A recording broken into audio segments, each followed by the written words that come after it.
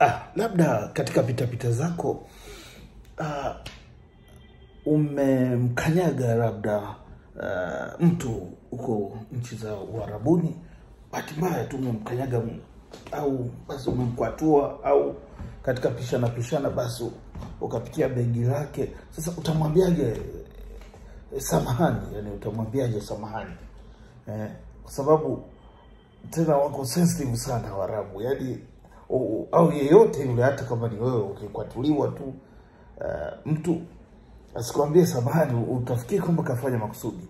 Uh, kwa lugha Arabia uta, utasemaje? Kuna namna kama mbili hivi au hata zaidi. Uh, unaweza ukamwambia uh, ana asifun, ana asifun ana asifun, hiyo ni namna moja, au unaweza ukamwambia uh, lau samatan, lau samatan, lau usamata la usamata la samat, la samat, au ana asifun, ya. Ana asifun, I'm sorry, I'm sorry, samahani. Kwa Kiswahili tungesema tu samahani, ana asifun, ana asifun, I'm sorry, ana asifun.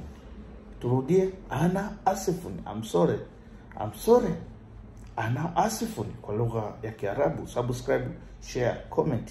Libe TZ, jifunze lugha ya Kiarabu.